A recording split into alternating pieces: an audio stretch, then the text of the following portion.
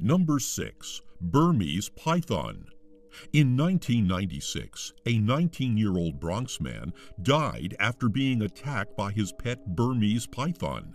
It's likely that the 13 foot long reptile mistook the man for food after it escaped its cage. The man was found by his neighbors in a pool of blood, with the snake coiled around his torso in his apartment building's hallway. According to the man's brother, the victim had purchased the snake at a local pet store for $300 a few months earlier. Number 5. Pugs. In 2009, a small pair of pugs in Nebraska survived for two weeks on the deceased corpse of their owner after he shot himself. After being found, the dogs were subsequently put up for adoption. A Humane Society spokesman said the animals were unlikely to suffer any lasting psychological damage because they don't have memories like people. Number 4. Lizards, tarantulas, spiders, and other bugs.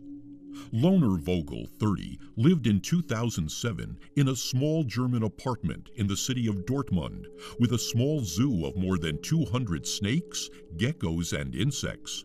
Apparently, he was killed by a black widow bite and subsequently gorged upon by the other crawly creatures.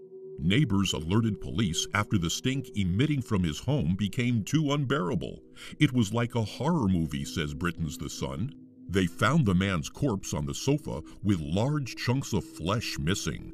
Giant webs draped him. Spiders were all over him. They were coming out of his nose and mouth, said police. Number 3. Cats.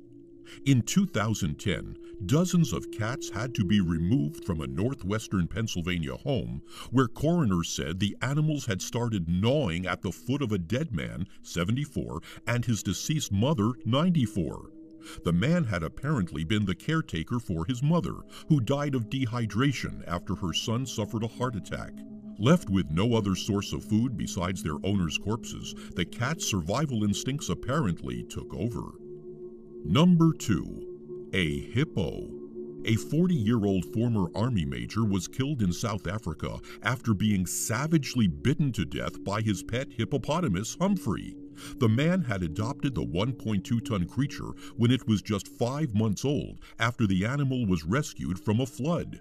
Humphrey's like a son to me. He's just like a human, he said. There's a relationship between me and Humphrey, and that's what some people don't understand. Experts have since noted that hippos are actually the most dangerous animals in Africa, killing more people each year than lions, elephants, leopards, buffalo, and rhinos combined. Number 1. Pigs.